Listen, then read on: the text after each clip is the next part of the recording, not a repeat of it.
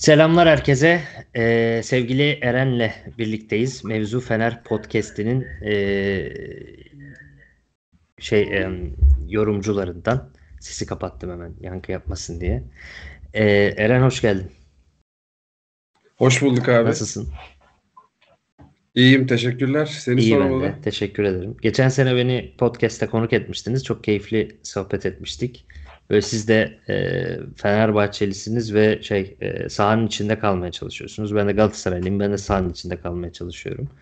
E, ve saha için böyle tek bir takımın konuşulduğu bir kanal değil de böyle e, Türk futboluyla ilgili işte milli takımda konuşalım. Fenerbahçe'de, Galatasaray'da, Beşiktaş'ta da e, konuşalım. Hatta Anadolu takımlarının da yeri geldiği zaman konuşalım. Öyle bir kanal olsun istiyorum.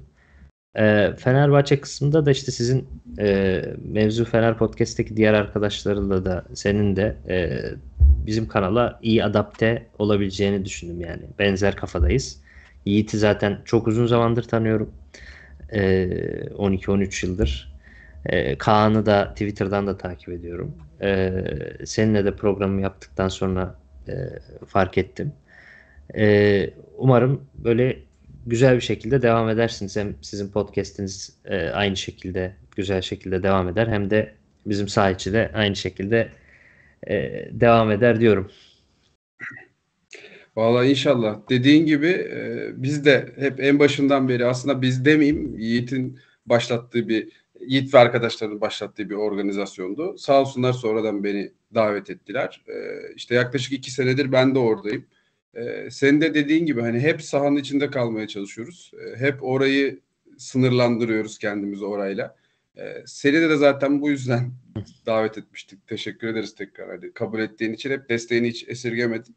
E, orada konuşmamız bana da çok keyif vermişti. Arkadaşlarla konuştuğumuzda da e, hep olumlu geri bildirimler aldık. İnşallah aynı uyumu burada da yakalarız. E, bizimkilere de buradan e, Mevzu Fener ekibine de selam olsun diyelim. Eyvallah. Maça geçelim o zaman. Fenerbahçe 19'da 19 yapmış oldu. Dolu dizgin devam ediyor. Tabii Pendik zayıf falan diyorsun ama ben mesela Kasımpaşa maçını yerinde izledim. Stada gitmiştim. Kasımpaşa şu an ligde dördüncü mesela. Kasımpaşa'ya karşı da e, hemen hemen aynı oyun vardı demeyeceğim. Daha iyi bir oyun vardı. Kasımpaşa'ya mesela pozisyon da vermemişti Fenerbahçe. Hadi bu maçta mesela Diaby'nin kaçırdığı var bir tane falan yani. O maçta öyle bir şey de yoktu. Ee, ve hani sadece böyle hani Pendik'tir, İstanbulspor'dur falan zayıf rakiplere karşı sürklase etme gibi bir durum yok yani. Lig dördüncüsüne karşı da üstelik deplasmanda oynayıp sürklase edebiliyorsun. Ee, o yüzden hani Fenerbahçe'nin bu performansını ben hiç görmedim. Ben hep şey hep derdim yani Daum bence en iyi Fenerbahçe teknik direktörüydü ve Fenerbahçe'nin en güçlü oyunu hep Daum zamanlarında gördüm derdim. Yani çocukluğumda. O dönem Fenerbahçe'nin en iyi, en iyi olduğu dönemler. Ee, ama e, herhalde bu seneki İsmail Kartal Fenerbahçesi e, gördüğüm en, en iyi Fenerbahçe. Ha insanlar diyor ki ligin kalitesi düştü. Düştü evet. Geçen sene de düşüktü ama. Yani bu sene de düşük ama geçen sene de çok düşüktü. O yüzden 88 puanlar falan gözüktü. İşte 3 takım da 80'leri buldu falan. Ee, bu sene de düşük. Belki bir tık daha da düştü. Kabul ediyorum. Ama e, yine de e, Fenerbahçe ve Galatasaray'ın seviyesi de yükselmiş olabilir yani. Sadece lig düşmüş değil. Fenerbahçe ve Galatasaray'da ciddi anlamda yükseliyor olabilir. Çünkü hani dediğim gibi yani Kasımpaşa'yı da deplasmanda ezdi Fenerbahçe. Mesela Kasımpaşa geçen seneden daha düşüğe kurulmadı. Yaptığı transferleri falan iyiydi. Ee, ben böyle sezon Süper Lig başlamadan hemen önce bütün takımların yaptığı transferlere ve kadrolara baktım. Bizim bir podcast var. E, Podbe'de yapıyorum. Trend Spor diye haftalık. Mesela orada böyle bir lig başlamadan önce bir değerlendirme yapmıştım ve Kasımpaşa'nın e, ligin yaz transfer dönemini en iyi geçiren Anadolu takımlarından bir tanesi olduğunu ve geçen seneye göre daha yukarılarda bitireceğini düşündüğümü söylemiştim. Öyle de oldu. Öyle de gidiyor. Ama mesela onu da ezdi Fenerbahçe. Yani geçen seneye göre daha yükselen takımı da ezdi. Hani o yüzden sadece Anadolu takımları çok zayıf cümlesiyle açıklanacak bir şey değil bence 19'da 19 ligde 10'da 10 yapmak. Kesinlikle aynı fikirdeyim. Ee, sanırım sen de koptun. ben devam edeyim oradan. Ee, yani %100 aynı fikirdeyim. Ya 19 tane hazırlık maçı yapsam bile 19'unu kazanamazsın. Ya bu kadar hani düz basit bir mantıkla bile baktığım zaman Fenerbahçe'nin başardığı şey bence çok e, ekstrem bir şey. Yani çok normal bir şey değil. E, bunun yanında yani Fenerbahçe'nin e, gelişen bir oyunu var. İlk ilk günden beri hazırlık maçlarından beri. Ve aslında e, bence taraftar olarak da ya da futbol sever olarak da Fenerbahçe ile ilgili e, izleyenlerin en çok hoşuna gidecek şey şudur. Yani ilk günden itibaren bir plan çerçevesinde kurulan bir takım var.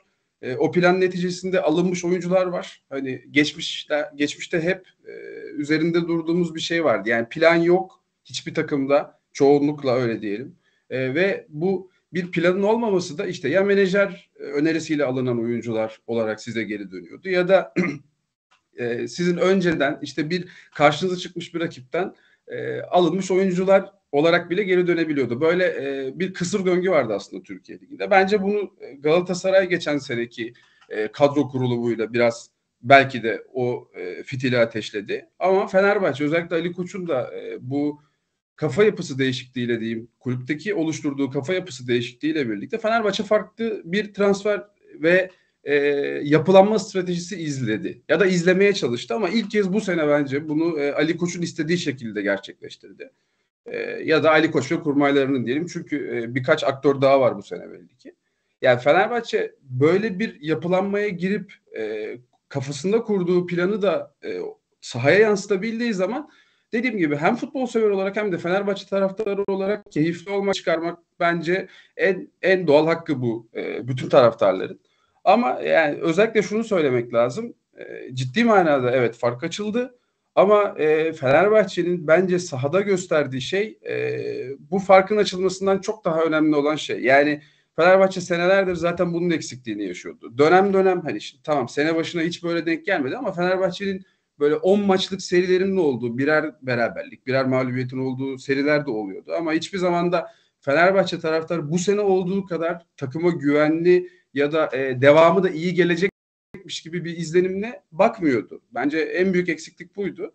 E, dediğim gibi hani en başından itibaren konuşmak lazım. Gelişen bir oyun var, gelişen bir yapı var. E aslında bu maç için, bu maçı benim için ayrı kılan şey de şuydu. Bence o yapının en önemli unsurları olan işte Ciku ve Fred yokken Fenerbahçe yine zorlanmadan kazandı. Hani detayları konuşuruz ama e, bence bu maçın özelinde Fenerbahçe yapı olarak mı buraya geldi yoksa oyuncu bazlı mı geldi? Onu da biraz test etme maçı oldu diye düşünüyorum. Ee, eyvallah. İstersen direkt ilk 11 ile e, şeyle başlayalım. Bir taktik tahtamız var. Ben onların üzerinde notlarımı yazıyorum. Ee, onun üzerinden biraz oyuncu performanslarıyla da başlayabiliriz. Benim ilk 10 dakika ile ilgili şunu söyleyeyim. Galiba Twitter'da da Kaan'ın yazdığını gördüm. Dün e, Pendik zemininin kuru olması ile ilgili işte şey varmış. Haber çıkmış ya da öyle bir şeyler söylenmiş ve zeminin ıslanması, daha düzeltilmesi gerektiğine dair bir şeyler. İkinci dakikada da Beka topu sol stoperde oynamanın belki dezavantajıyla daha böyle zayıf tarafına soluna doğru sürerken takılıyor zemine ve bacağın attığını böyle yakın çekimde görüyorsun. Sol bacak birden kasılıyor yani tam baldır. Ben altyapıda futbol oynarken en çok sakatlandığım yerde abi. Ani deparlara falan kalktığın zaman ve maçın başlarında çok oluyor. Tam vücut ısınmıyor. Eğer iyi ısınmamışsan maç öncesinde anlık zorlamada 3-4 kere gittiği oldu benim.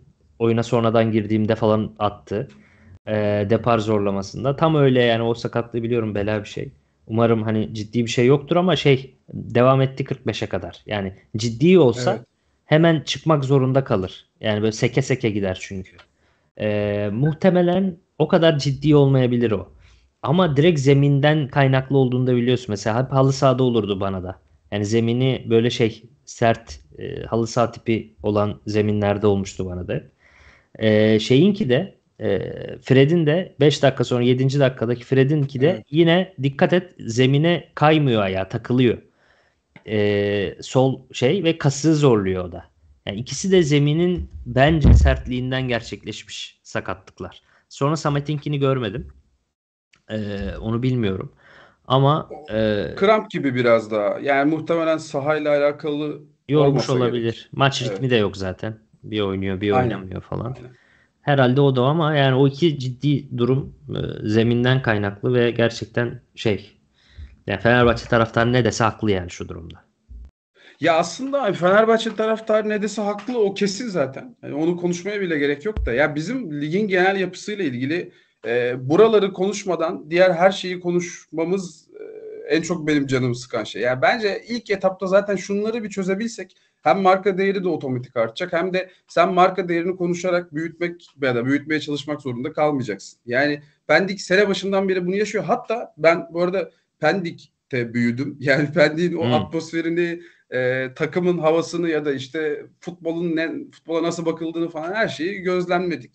Ama yani Pendik e, Süper Lig'e çıktığından itibaren konuşulan şey yani bütün etrafta konuşulan şey şuydu ya bu statta Pendik oynayamaz. E, ya işte o zaman konuşulan şey olimpiyat stadını kullanırızdı. E, sonrasında da nasıl oldu bilmiyorum ama e, bir düzenleme yapılana kadar bu stat devam etsin. Bu statta da oynanır noktasına gelindi. Yani e, şimdi maçı açıyorum ben de onu yazdım aslında. Yani karşıda işte belediye başkanının reklamı var. Diğer tarafta başka bir şeyin reklamı var. Hani ne olduğu önemli değil de reklama karşı bir maç izliyoruz. Oyuncular da oraya karşı oynuyor. Ee, tam hani belki amatör ruhla baktığınız zaman işte etrafta binalar var, Fenerbahçe bayrakları var falan böyle çok güzel şey e, tabiri caizse dilencilik yapılabilecek bir ortam da var. Güzel ama yani ben ciddi alamadım kendi adıma açıkçası. Maçı izlerken gerçekten bir hazırlık maçı ya da işte bir dostluk maçı havasıyla izledim. E, oyuncunun da bence buraya adapte olması, odaklanması zor. E, o yönden baktığım zaman ben çok da bir şey beklemiyordum. Hatta şunu da söyleyeyim maç boyu 20-30 e, metreye geçen pasların hiçbirini göremedim zaten. E, ancak düştüğü yere kamera döndüğü zaman görüyoruz. Gidiş açısını alabilecek kadar geniş bir açı bile yok statta. Hmm. Yani bunları bunları da bence muhakkak konuşmak lazım. Hani e, kim izin verdi en başında ya da ne değişti de buraya geldik falan. Ya yani bu futbolun tadını arttıran şeyler bunlar zaten. E, dediğim gibi ben yerleşimi bile gözlemleyemedim doğru düzgün. E, öyle bir açı yoktu yani. Haklısın. Ee, maalesef geçen sene Ümraniye şeyi de öyleydi benzerdi. Ben bir kere Ümraniye'de maçı izlemeye gittim. Böyle tek katlı statlarda e, televizyondan maç izlemek de zor. Stada gidip izlemek de zor. Evet. En güzel o evlerdekiler izlemiştir. Aynen, Sadece böyle 4-5 kişinin e, sahip olabildiği bir güzellik o. Zaten evet. belki bundan da olabilir. İlk 20 dakika Fenerbahçe maça pek giremedi. Yani e, gerçi Dogorets maçında da benzer bir durum oldu. İlk 15-20 dakika ama e, burada da bir 20 dakika oyuna giremedi. E, o sırada yalnız bu mesela 20 dakika 25 dakika Fenerbahçe oyuna girmekte zorlanırken de Pendik'te bekledi yani. Hep e, bekleyerek oynadı. E, o konuda sana soracağım ve benim öyle bir tezim var ama Fenerbahçeliler tabii bu teze biraz kızıyor. E, şimdi oraya getireceğim lafı. E, ama bir, be, bir beğeni isteyeyim. E, şu anda 3 3 kişiden bir kişi beğenmiş sadece yayın arkadaşlar. Biraz daha bir beğeni alalım. E, önde baskı konusu sadece Antalya Spor'dan gördüğümüz bir konu. Ee, ve o maçta Fenerbahçe'nin en zorlandığı maç oldu belki de bu 19'da 19 döneminde yani. Ee, Kitiventeler falan belki Antalya'dan daha iyi takımlar da vardı aralarında. Ee, ama Antalya Spor bayağı bir zorladı. Onun dışında da kimse önde basmadı. Mesela şu maçta özellikle Fenerbahçe durgun bir başlangıç yapmışken bekliyorsun. Bence bir kere şey e, ya önde basmak hemen öyle bas deyince basılan bir şey değil. Onu şey yapmıyorum yani. Niye Fenerbahçe önde basmıyor takımlar falan öyle demiyorum ama bence Ceko ve Tadic'i varsa bir takımın yapacağınız en kötü şey derinde beklemek. Çünkü Ceko dar alanlarda cüssesiyle çok fark yaratan bir adam. Eziyor yani. Ya ben ya şu futbolu oynasın Ceko'nun iki stoperden bir tanesine üstünlük sağlayamayacağı belki Galatasaray maçında Davinson Abdülkerim ikilisi cevap verir. Ama onun dışında yani Beşiktaş'ta Necip'i de alaşağı eder. Ya bir de çok akıllı bir adam olduğu için iki stoperden hangisi daha zayıfsa gidip onunla birebir eşleştiriyor kendini. Onu eziyor. Yani bütün takımları ezer. Yani sen geride kapalı kalırsan Ceko her maçta e, dominant olur. Yani gol atsı, atar atmaz ayrı mesele. Zaten bu haftaya kadar dominant olmadığı Ceko'nun e, maça damga vurmadığı maç hatırlamıyorum neredeyse. Ya ben hep diyorum yani Fred de çok iyi, Tadic de çok iyi ama Şimanski de çok iyi. Ama ben Ceko'yu hepsinden çok daha üste koyuyorum. Yani dam öyle böyle damga vurmuyor bence. Yani bütün maçlara çok damga vuruyor. Böyle bir oyuncuyu e için zaten en iyi yaptığı şey set oyununda e, doğru kurgulamak, kolay kolay top kaybetmemek, doğru pasları, oyunu kurgulamak. Böyle bir takıma karşı geride e, beklemek ön, şey, önde basmak riskli diyor ya herkes. Ya önde basmak çok riskli bir şey falan diye. Geride beklemek daha riskli böyle bir Fenerbahçe'ye. Tadiç'e, Ceko'ya karşı geride beklemek. E, o yüzden bence önde baskı hele BK ve Samet varken yani Ciku da yokken Ciku iyi bir oyun kurucu çünkü. iyi uzun toplar atar. E, geride eksik yakalanırsın. Ama mesela Ciku da yokken Bekao gibi bir adam sol stoper oynamak zorundayken önde baskıyı düşünmemek bence e, şeydi. Yani baştan kaybetmesine neden oldu yani Pendik'in. Ben ben öyle düşünüyorum. Ya bu önde baskı konusunda e, şu noktada katılıyorum. Onu söyleyeyim öncelikle. Sonra ben bu konuya nasıl bakıyorum onu anlatmaya çalışayım. E, evet yani Tadic, Ceko ve İrfan üçlüsünü sadece o orası özelinde konuşalım. E, yapabileceğin en iyi şey zaten kaleden uzak tutmak. Yani çünkü e, dinamizm olarak baktığın zaman hani Tadic belki prime döneminde biraz daha e, gidebilen, biraz daha topu taşıyabilen bir adamdı ama şu an oradan uzaklaşmış durumda. E, Ceko zaten hiçbir zaman o, o yapıda olmadı. İrfan da zaten bu seneye kadar ceza sahası koşusu bile çok fazla atmayan bir oyuncuydu. Evet. Yani bu üçlüyü düşündüğün zaman evet ne yaparsın? Kaleden uzaklaştırman lazım ki üretkenlikleri azalsın gibi bakılabilir ki kağıt üstünde de gayet doğru bir önerme. Ama şöyle bir sıkıntı var. Bu arada Antalya maçından açtın hani oradan söyleyeyim. Antalya'nın yaptığı şey daha çok e, ön, evet önde basmaktı ama takım halinde o işte 1 2 3. blok diye ayırırsak sahayı o blokların arasını bir böyle e, set gibi bütün bir halde durup o blokların arasına baskı yaptı aslında. Çok böyle adamların dibine kadar girip de hani bir yıldırıcı baskıdan ziyade hem pas yollarını kapatan hem de işte Fenerbahçe'nin oyun kurulumundaki eksiklerini e, ortaya çıkaran bir baskıydı. Bu tarz bir baskı tekrar faydalı olur mu? Tabii ki olabilir ama şunu söylemekte fayda var. Fenerbahçe'nin rakipleri bunu bazen denedi.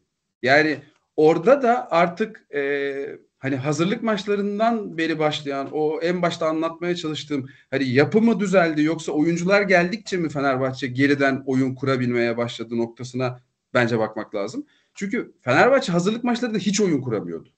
Ama o zaman bu Ciku, Fred, e, İsmail tam İsmail hep oynadı ama İsmail ile Fred'in bir arada oynamaya başladığı uyum sağladığı ve Ciku'nun da arkadan ciddi bir oyun kat, oyun kurma katkısı sağladığı döneme henüz gelmemiştik. Ve Antalya maçında da şunu söylemekte fayda var. 6 numarada Zayt oynadı. Evet. İsmail yoktu. Yani Fenerbahçe'ye önde baskı yaptığınız zaman evet hala daha yıldırabilirsiniz. Bence de geride beklemektense önde baskı yapmak yeğlerim. Eyvallah. Ama Fenerbahçe şu an orta sahada da top kaptırdığı zaman İsmail inanılmaz bir performans gösteriyor. Topun geri kazanımı noktasında. Fred keza aynı şekilde bence o ikili e, hani Fenerbahçe'nin bu kadar e, önde oynayabilmesini de sağlıyor aslında. Katılıyorum. İkisi çok çabuk top kapıyor. Katılıyorum. Çok çok çok tab- çabuk top kapıyor ve onun sonrasında da İsmail ile ilgili şunu söylemek lazım. Sene başından beri e, o pozisyon hatalarını, topu kullanma noktasındaki eksiklerini gidermesiyle birlikte bence Fenerbahçe'nin oyununu bir kademe de o yukarıya çıkardı. Yani Antalya'nın o baskıyı yaptığı dönemdeki kadar rahat baskı yapılamayabilir. Onu söylemekte fayda var. Yani bir de şunu da söyleyeyim e, bu konuyla ilgili. Şimdi baskı yapıyorsunuz evet. E, ön tarafta İrfan var, Tadiç var. Hani kanattan oyunu kurmaya çalışıp ki e, Fenerbahçe savunmada çok güzel daralıyor. Hücuma geçerken de nizami açılıyor. Yani e, o açılmaları daralmaları iyi yaptığı için kanada koyduğun adam topu tutup e, duvar olabilecek mesela Galatasaray Bayern'e bu presi yaptığı zaman hadi orada kanatta oynayan adamlar e, alıp gitme işinin dünyadaki en iyi 5-6 kanadından biridir. Evet. İki kanat içinde konuşuyorum. Ama işte Sane de aynı şekilde alıp da ya da komanda alıp tutayım işte oyun kurayım ne bileyim bir arkamı dayayayım oyuncusu değiller. Yani Fenerbahçe'de e, tabii ki kalite farkı var. O ayrı bir konu ama sen Tadiç'e ve İrfan'a bu topu yolladığın zaman ar- aradan çok sürpriz koşu yapabilecek Şimanskin ve Fred'in de var. Yani o baskının da çözümü aslında Fenerbahçe'de var ve e, bu uygun yapı birbirine uyan uymaya başlayan takım oluşumuyla birlikte bence Fenerbahçe şu an o kadar çözülmesi kolay bir takım değil. Tabii ki her şeyin çözümü var. O çok ayrı bir konu. Ama Antalya'nın yaptığı kadar e, sorun çıkar mı? Ben emin değilim. Yine bir uzun vadede görmek lazım. Evet. E, bu arada ben mesela yaz döneminde herkes King'i gönderir hoca falan derken King'i tutar diyordum. Çünkü bence King dışında süratli ve topsuz oyunda koşucu bir kontra atakçısı yoktu hocanın. Ve bence hoca da bunu düşünüyordu. Yani e, bana geride bastıkları zaman o geniş mesafeleri hızlı kat edebilecek King var. O yüzden bence King'i hem hazırlık maçlarında olsun hem e, resmi maçlarda olsun adam sürekli oynatmaya ve maç ritmini tutturmaya çalıştı. Hep süre verdi. Maalesef King yine sakatlandı da. E, bence mesela o da e, planların e, dahilindeydi. E, şey konusunda da e, yani Tadic ve İrfan faal olabilir ve takımı rahatlatabilir öyle durumlarda. Sırtı dönük falan ama e, o kontra atakları sürükleme konusunda ben Tadic'in, Ceko'nun, İrfan'ın e, biraz ağır kalabileceğini düşünüyorum. E, o tip pozisyonlar, o tip e, maçlarda. Ama onlara da başka problemler e, üretebilirsin tabii. Bir de e, iyi bir taktisyen Abdullah Hoca. Hı hı.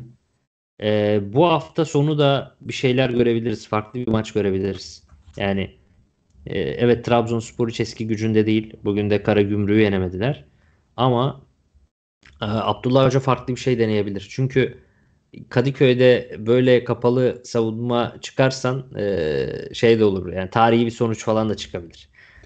Onu bakalım merak ediyorum. Cumartesi günü galiba. Önümüzdeki cumartesi. Evet evet önümüzdeki cumartesi maç. Aynen. Ee, o maç çok şey olabilir. Çok keyifli olabilir. Bakalım ya Abdullah Hoca neler plan ee, iyi bir analiz görebiliriz Abdullah Hoca'dan. O da biraz süreç teknik direktör olduğu için hani o oturması mu, muhakkak zaman alacaktır. Bu hafta da ya, yanlış görmediysem herhalde şey pozisyon hmm. bulamamış Trabzon. Ee, öyle bir maçtan çıkmış. Yani Abdullah Avcı'nın oynatmaya çalıştığı şeyi e, seversin sevmezsin herkes yorumunu yapabilir ama sonuçta o bir şey oluşturuyor her zaman ve o oluşturduğu şey de hep zaman alıyor. Bence Fenerbahçe'nin biraz o noktada şansı var. Ee, ama dediğin gibi Fenerbahçe'ye panzehir olabilecek bir oyunu kurabilecek hocalardan da biri kesinlikle. Doğru. Bu arada şey de söyleyeyim. Ee, hani King'den bahsettin. Ben de aynı şeyi düşünmüştüm. Hatta ilk geldiği zaman da yazmıştım İsmail Hoca ilk geldiği zaman. Yani King eğer kalırsa İsmail Hoca bu muhakkak çok faydalanacaktır. Ve King de muhtemelen o hani Fenerbahçe'de bir tat bıraktığı bir dönem vardı. 3-4 maç çok iyi oynadı.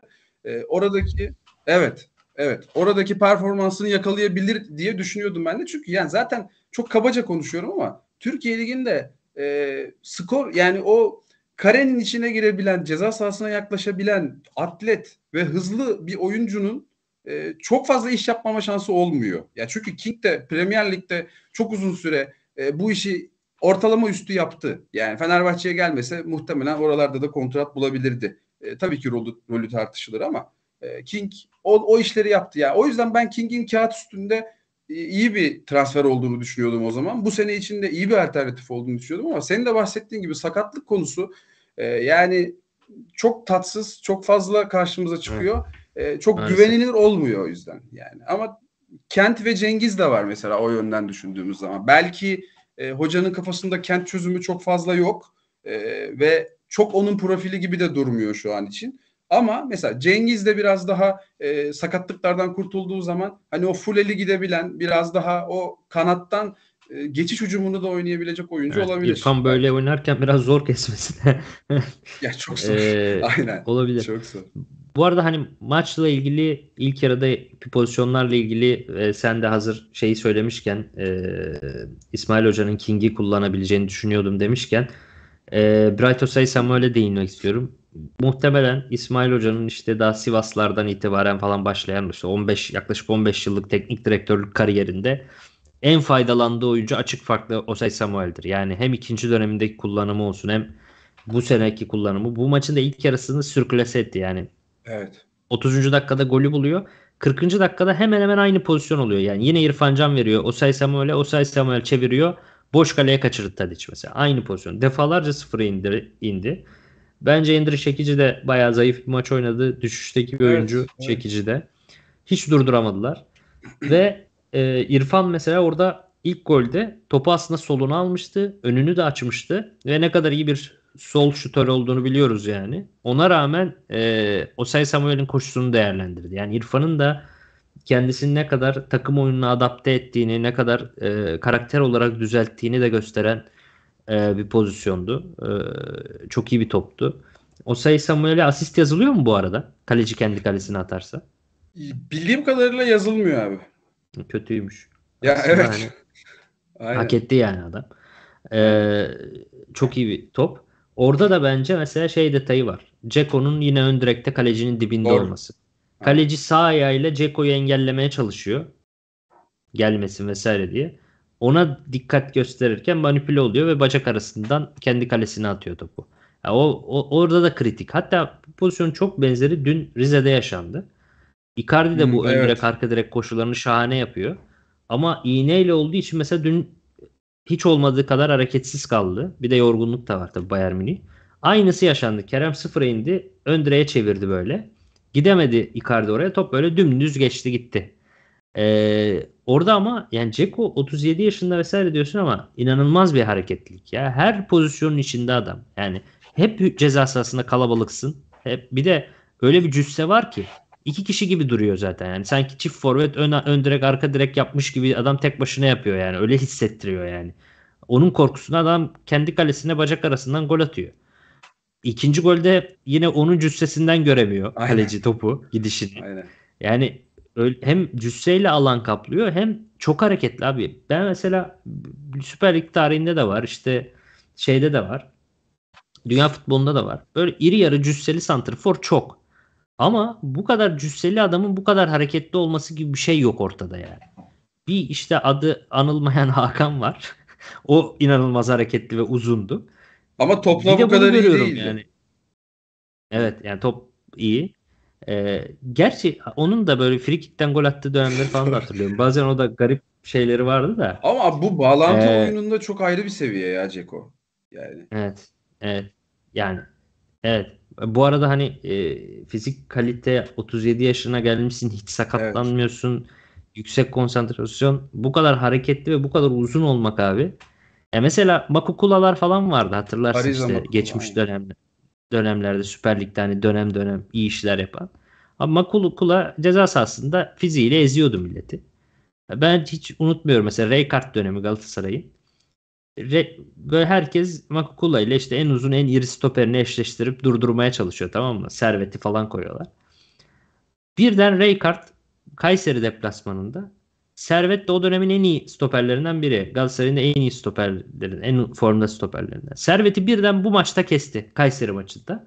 Ve daha çok daha kısa çabuk olan Emre Güngör'le Lucas Nigil'i oynatmıştı. Maç önü herkes işte şaşırdı. Ben de şaşırdım. İşte yorumcular nasıl böyle bir şey yapar? Makukula çok uzun, iri. Ee, işte şey ee, serveti nasıl kesersin? Esas bu maçta oynatacaksın falan. Herkes öyle yorumlar yapıyor. Abi adam iki tane hızlı stoperi aldı ve orta sahaya koydu. iki stoperi de. Mümkün olduğunca alanı daraltıp önde oynadı. Makukula sıfır ya. Ya sıfır. Hiçbir koşuya atamadı. Hiçbir topla buluşamadı. Sıfır yani. Çünkü hareketsiz adam yani. Topu atıyorsun oraya koşamıyor. Buraya koşamıyor. E, Arkaya zaten koşamıyor. Ama hani top da alamıyor. Sırtı dönük de olamıyor. Sıfırlamıştı yani. Hiç, hiçbir şey yapamamıştı. E, pozisyona bile girememişti. Ama şimdi Ceko'ya bunu uygulayamıyorsun mesela. Çok hareketli adam.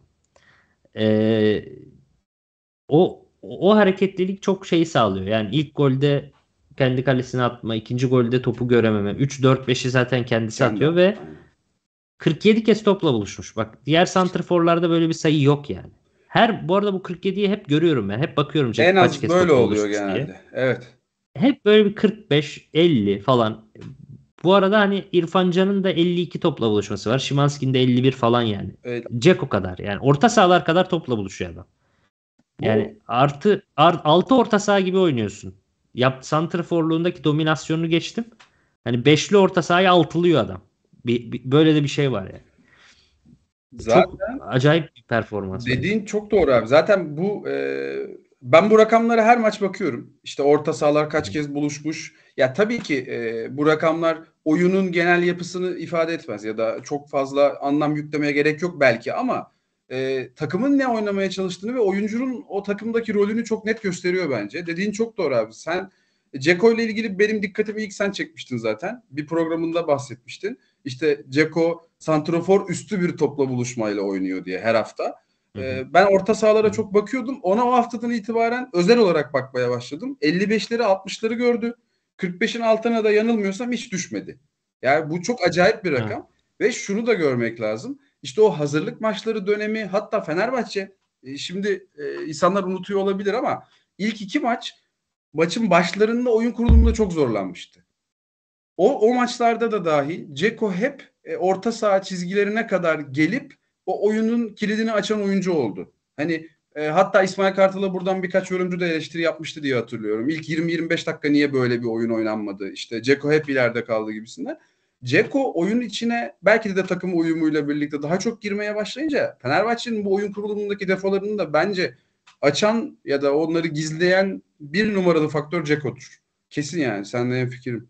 Bir teknik direktörden duymuştum bunu galiba. Ee, 10-15 önce yıl önce duyduğum bir şeydi. Eğer elinde tecrübeli ve kaliteli futbolcular varsa özellikle tecrübeli ve taktiği bilen ilk 10 dakikadan sonra sahada işlerin iyi gitmediği yerleri bulurlar ve ona göre çözümleri hmm. kendi kendine üretirler. Bazen hani teknik direktörün etkisine bile gerek kalmaz gibi bir yorum yapmıştı. Onu da o gözle bakınca çok fark ettim. Bazen mesela işler iyi gitmediği zaman bu tip oyuncular Tadic, Ceko vesaire ne yapılması gerektiğini sezip ona göre eyleme geçebiliyor. Yani baktım mesela oyun kuramıyorsun. Gel biraz geride top alalım vesaire gibi. Veya uzun evet. vur ben indireyim falan gibi. Hani kendi çözümlerini kendileri üretebiliyor. Mesela Real Madrid'de çok oluyor bu. Ee, çok çok tecrübeli adam var çünkü. Ee, bazen mesela Modric kendisini sağ içe çapraza atıyor falan böyle. Bekin yanına atıyor Carvajal'in yanından. Oradan top falan çıkarıyor. Yani o çözümleri hakikaten üretebilmek tecrübeli oyuncuların özelliği. İlk yarı ile ilgili bir de dikkatimi çeken bir pozisyon var. Ee, İbrahim Akta bunu hep yapıyor. Ben de e, kendisini hiç sevmem. E, bu arada adam Fenerbahçeli galiba. Çünkü Galatasaray maçında da 6 yapmıştı şeye Galatasaray tribünlerine. Ha öyle mi? Hatırlamıyorum evet. ben bu detayı. Evet yani herhalde Fenerbahçelidir diye düşünüyorum. Ee, galiba chatte hatırlayan varsa yazsın e, Mustafa Muhammed'in kırmızı kart gördüğü bir pozisyon vardı. Mustafa'nın dirseğine kafa atıp kırmızı kart göstermişti. Yani öyle bir aksiyona girmişti. ee, bu altı hareketi falan da orada şey mesela burada da abi ortada hiçbir şey yok. Bir pozisyon oldu evet. ceza sahasında 23. dakikada. Gitti Osay Samuel'le tartıştı, itişti, mitişti. Aynen. Hem kendi kart gördü hem Osay'ye kart gösterdi. Ne gerek var ya? Ortada hiçbir şey yok yani. Bu garip bir adam. Çözemiyorum. Bir de o sayede dünyanın en sakin adamıdır yani muhtemelen. Hiç böyle bir şeyde adın geçtiğini hatırlamıyorum. Ben de çok şaşırdım bu arada izlerken o pozisyona. Aktör e, belliyse tamam o zaman anlaşıldı şimdi yani. Evet. Doğrudur. Yani durup dururken kendi de kart görüyor yani. Çok saçma bir iş. Osayi bu arada müthiş oynuyor ya. Evet ya, evet. Ya Osayi'deki yani orada hakkını vereyim yani. Jesus da Osayi'yi sağ bek oynattı bir sürü maçta. Ben diyordum ki Osayi bek oynatmasın. Çünkü adam bütün büyük maçlarda offside'ı bozuyor. Yani Trabzon derbisinde geçen sene offside'ı bozdu. Bir 3-4 tane kırılma maçının hepsinde Osayi offside'ı bozmuştu ve o arada da kırılmıştı. Yani oynatmasın falan diyordum hoca Jesus için. Abi şimdi bu adam da oynatıyor. İkinci döneminde de oynatıyordu. Offside bozma falan görmüyorsun. Sahaya farklı yayılıyor Fenerbahçe. Veya daha Hem önceki öyle, evet. daha önceki maç tak, şeylerinde falan böyle final pası atamadı falan diyorduk. Orta kesmeyi bilmiyor diyorduk. Ne, ne biçim hücum oyuncusu diyorduk falan. Ya burada mesela e, final pas atamama gibi bir aksiyon dikkatini çekmiyor yani. Çünkü mesela bence doğru çalışıyor. İkinci döneminde Galatasaray attığı bir gol vardı Fenerbahçe'nin. 2-0'lık maçta. iç saha maçında. Ee, dışarı Mert Hakan kaçırdı Osayi'yi. Osayi dışarı çevirdi. Zayt golü attı. Ee, o şeyin e, o pozisyonların hemen hemen aynısı oluyor. Yani hep e, Osayi oraya iniyor ve ezbere yani kafasını çok kaldırmak zorunda kalmadan çıkarıyor. Çünkü bence bunu çalışıyorlar işte yani. Doğru şeyi yapıyor. Yani o doğru çalışmayı yapıyor ve e, teknik direktörlük kalitesi olarak adamın hiç böyle zaaflarını ortaya çıkarmıyor. Hep böyle kaliteli e, iyi olduğu yönleri ortaya çıkarıyor. Teknik direktörlük de bu aslında zaten yani. Bu adamın dayanıklılığı var, fizik kalitesi var. Ben bunun full temposundan, dinamizminden yararlanacak sistemi yaratayım. Yani oyun aklı çok yüksek değil. Evet. İşte atıyorum e, vizyonu, e, top kullanma becerisi o kadar yüksek değil. Buna hep belli hücum setlerini çizeyim, bunu yapsın falan. Hocalık bu demek zaten. Ee, o yüzden İsmail Hoca'yı kutlarım yani. Jesus'a falan hep bir sürü övgüler yağdırdık. Mesela Jesus'un bu kadar kullanamadığı oyuncuyu iki kat daha iyi kullanıyor yani. Hakkını verelim. Doğru. Veya Vitor'un evet, başka hocaların onu, kullanamadığı bir oyuncu. Ya tabii orada şey Vitor'un da e, yeri gelmişken ben öveyim. Severim kendisini. E, Ferdi ile Osayi'yi bu rolde kullanmayı düşünmesi de Fenerbahçe'nin aslında bu son senelerdeki e, oyun karakterini oluşturan hamlelerden biri oldu bence. Onu da İlk sağ bek o mu yapmıştı? Evet evet. Vitor, Vitor mu yapmıştı ilk sağ Vitor yaptı. Güzel. Ya muhtemelen o ya bu arada Osayi gitmişti zaten. Yani öndeki performansı doğru. iyi değildi. Doğru ve hakikaten e, Osayi'nin kariyerindeki e, hamle yani ivmelenmesini ve yukarı çıkmasını sağlayan hamle onun sağ açık değil de sağ bek olduğunu anlaması Vitor Pereira'nın. Böyle e, hoca dokunuşları çok değerli oluyor. Geçen Daily Mail'de bir haber vardı. Şey yapmışlar. E, Avrupa'nın en formda takımı işte 18'de 18'di o zaman. Evet. 18'de 18 yapan Fenerbahçe Premier Lig'de tutunamayan oyuncularla müthiş bir form yakaladı. İşte Kent var, e, Ceko'lar var vesaire. E, orada iki ismi unutmuşlar. Bir Cengiz Ünder, kısa da olsa bir Leicester dönemi var. Ama mesela tutunamadı hakikaten. Leicester'da iyi olsaydı bonservisi verip alırlardı. E, Marsilya'ya gitti sonradan. E, o var. Bir de Championship'te oynayan sadece Osay Samuel var. Esas bence İngilizlerin hiç görmediği adam Osay Samuel oldu. Yani sonradan onu sağ beke çek. E, bu performans sergilesin. Fenerbahçe'nin kendi içinde büyüttüğü hani hep e, Elif Elmasları falan hep söylüyoruz zaten. Hani Kim Minje vesaire ama Osay Samuel de öyle bir oyuncuya döndü yani. Müthiş bir performans sergiliyor. Doğru. Helal olsun. Şey bir de e, değindiğin nokta çok doğru. Yani adamın hem pozisyonu değişti Fenerbahçe'deyken.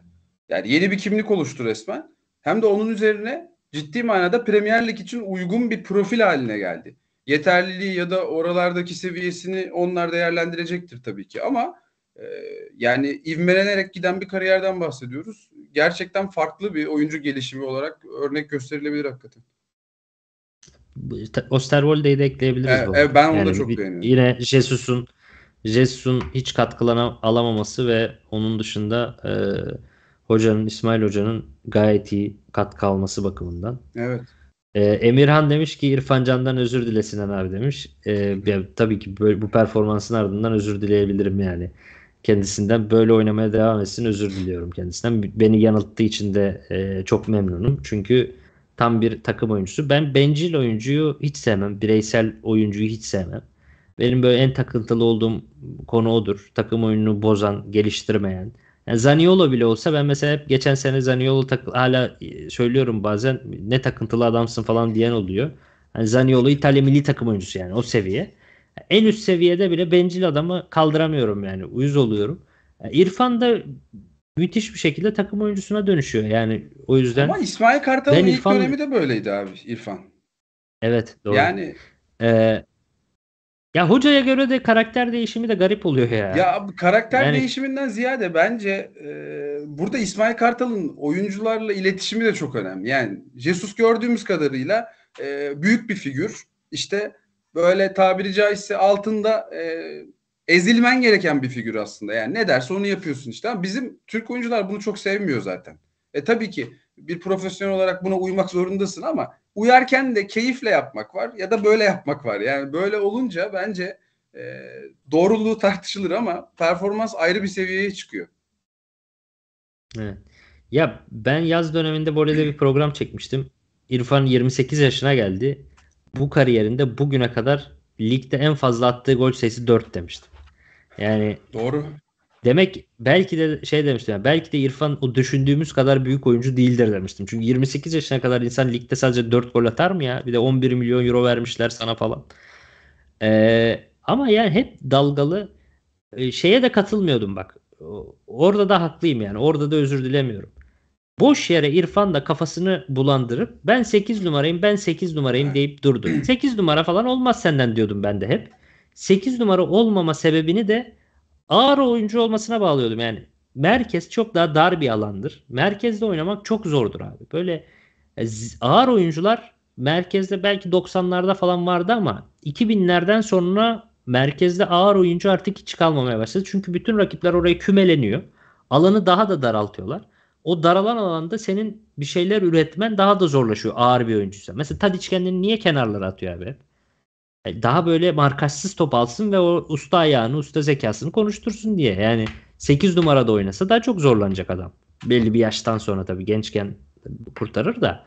Ya ağır bir 8-10 numara düşünün. Mesela kaldı mı dünya futbolunda? Çok ağır ama müthiş top oynuyor dediğiniz 8 veya 10 numara merkez oyuncusu olamaz yani. Şimdi Busquets İrfan. Busquets 6 numarada. Yani kendini çekiyor. Derin geri. oyun kurucu olarak olabilir zaten. Evet, geriye o bir çekiyor. Aynen. Ee, ama 8-10 yani daha böyle kalabalığa kümelenilen Doğru, doğru, yere doğru kendini attığın zaman e, çevik ve çabuk ve iyi hızlanan bir oyuncu olmadığında orada iyi iyi futbolcu olman, iyi iş yapman çok zor abi. Ee, o yüzden e, İrfan Can'ın şey olmasını e, kendisini Tadic'in tıpkı yaptığı gibi at kendini sağ kenara. Al geniş sol ayağınla. Oradan geniş oyunu gör. Uzak direk yap. Yakın direk yap. Orada oyna diyordum mesela. Ee, ve hakikaten de bak sağ kanatta parlıyor. Bence 8 numarada parlama ihtimali yok. Yani Şimanski gibi olabilme ihtimali yok. Hep gelsin Ceko'nun arka direk ön direk yapsın. O koşuyu atsın. O koşuyu mesela Şimanski 3 saniyede atıyorsa e sen 5 saniyede atacaksın. O aradaki 2 saniyede de orta boşa gidecek mesela. Ee, bence onlar belirleyici. Yani Sergio Oliveira yazan var mesela Samet.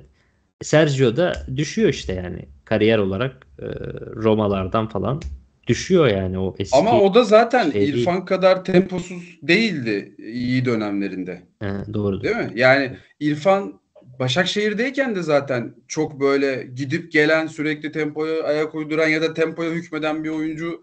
Bilmiyorum ya İrfan kendisinin bence kanatta daha etkili olduğuna ikna oluyor İsmail Kartal'la. Evet. Çünkü Ya- yani geçen sene kupa almışsın abi. Kupanın açıklamasında ben 8 numarayım açıklaması yapıyor. Adamın Evet. üzerinde öyle bir baskı oluşturmuş. ki. Saçma. Ya bence Evet. Jesus, Jesus da doğru yapıyordu. İsmail Hoca da doğru yapıp İsmail Hoca bir de doğruyu anlattı ona. Doğruyu de. anlattığını şurada anlıyorum. Ceza- hiç atmadığı ceza sahası koşullarını attı.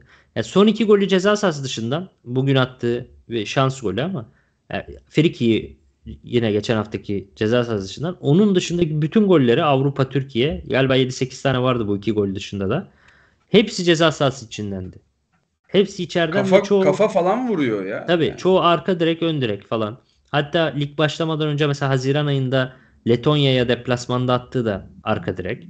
Yani milli takımda da yapmaya başladı. Yani eee, bu işleri anladı nihayet diye düşünüyorum. Yani 20, biraz geç oldu ama 28 yaşında da olsa anladı diye düşünüyorum. Bir de mesela Sergio örneği şunu düşündürttü bana. 4-2-3-1'de 8 numara olabilirsin çünkü ataklara geç katılıyor. Topsuz olarak katılıyor Sergio hücuma katıldığı zaman. Ama 4-3-3'te 8 numara Sergio da olmuyor o yüzden. Mesela Sergio'yu Okan Hoca hiçbir zaman 10 numarada denemedi. Mertens'in alternatifi Mertens'i dinlendireyim Sergio yapayım falan. Çünkü arkanda oyuncu grubu olduğunda kendi takımından sen orada önde konumlandığında e, orada çabuk olmak. Mesela 4-3-3'ün 8 numarası olsan Forvet'in bir arkasında sen varsın. Önünde bir boşluk var. Kat etmen gerekiyor o mesafesi. Topla topsuz. Orada ağır kalacaksın. 4-3-3'ün 8 numarası olmak farklı. 4-2-3-1'in 8 numarası olmak farklı. Çünkü önünde bir de 10 numara var. Topu 10 numaraya atma ihtimalin var veya 9 numaraya. Artı 2 tane pas opsiyonu, pas istasyonu var. Onlara topu atabilirsin. Ağır oyuncu 4-2-3-1'deki ikiliden bir tanesi ağır oyuncu yine kurtarır. Yani Sergio'nun vesaire yaptığı gibi. Ama 4-3-3'ün 8 numarasıysan driblingle de kat etmen lazım. Şimanski gibi topsuzla kat etmen lazım. Çünkü sadece bir 9 numara var. Senin daha çok katılman gerekiyor ileriye. Belki Bu arada şey de bitir abi lafını.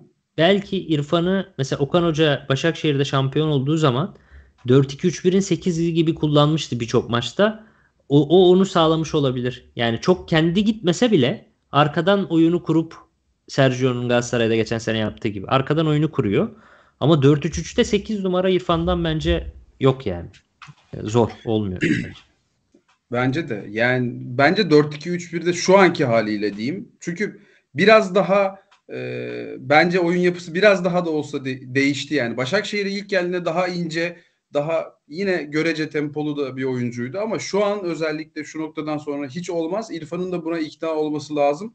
E, o noktada da e, İsmail Kartal dediğin gibi muhtemelen bunu başardı zaten. Abi şunu söylemek lazım. Yani mesela Fenerbahçe'nin şu an oynadığı oyunda Fred çıkınca bile inanılmaz bir fark oluşuyor. Yani o 8 numara dediğimiz mevkiyi oynayan adam Fred hani Premier Lig üstü bir tempoda oynayabilen bir adamdı. Hani e, topla Premier Lig'deki yeterliliği tartışılır ama o, buradaki yeterliliği de çok çok fazla geldi lige mesela. Herkesin e, kuşkulandığı şey Fred'in buraya geldiği zaman topla yetenekleri acaba bir sorun yaratır mıydı? Aksine Fred o e, son dönemlerin işte meşhur tabirlerinden o blok kırıcı pasları bile çok rahat atabildiğini gördük burada. Ki Manchester'da da o dar alanda işleri her zaman yapıyordu. Onu da yaparken şimdi Fred çıkıyor mesela Zayt çok eleştiriliyordu. Zayt fizik olarak hazır, hazır değilken Fenerbahçe'nin bu sisteminde Zayt bile sırıttı. Bugün nasıl buldun? Bence bugün yine geçen maça göre daha iyiydi. Çünkü Bence geçen de. maç Geçen evet. maç gol atmasına rağmen ben hiç beğenmedim zaten. Evet. İki gol atıp bu kadar kötü oynayan evet. başka bir performans yani, hatırlamıyorum ben. Ama o gol atmayı işte o başka bir şey yani adamın yazılımında var. Evet. Bakma mesela sene başından beri bir sürü ceza sahası içinden kaçırdığı gol oldu. Pozisyon oldu. O deplasma Maribor deplasmanıydı galiba. Kale ağzından kaçırdı. İç sahadaki evet, Maribor maçı muhtemelen. olabilir. Ben o maça gitmiştim. İç sahada net kaçırdı falan. Yani oralara çok iyi gidiyor yani. Normalde iyi de vuruyor zaten. O maçta da vurmuştu. Yani adam kötü bile oynasa o özellik e, sabit yani onda. Zaten 10 numaradan kırma olduğu için yani kariyerinin bir dönemi 10 numaraydı. Zayt Fenerbahçe'ye de 10 numara diye geldi. E, ama hani 8'e evrildi. Sadece işte e, bu sorumluluk alma ve tempo noktalarında yaşadığı sorun aslında bence Zayt'ın evet. kariyerini ket vurdu yani. Yoksa Zayt e, ceza sahası koşusu o kadar kıymetli ki. Ya İsmail Kartal'ın son dönemi yanılmıyorsam 6 ya da 8 gol atmıştı. 8 olması lazım. E, skor katkısı vermişti. Yani e, bunu yapabilen bir adam Zayt. İsmail Kartal çünkü 8 numaralarını ileriye götürmeyi seviyor. E, bunu gördük hep. Her oynadığı, oynattığı takımda bunu yaptı. Yani Zayt onun için değerliydi. O yüzden tuttu ama şu güne kadar Zayt'ın performansı bence Fenerbahçe'nin planlamasında bile yanlış yapılmış denilebilecek bir noktadaydı yani. Çünkü Fred çok yalnız kaldı. Belki de bugünkü sakat tamam bugünkü sakatlık muhtemelen çim yüzünden oldu ama e, Fred'in üzerine de çok yük bindiği bir gerçek.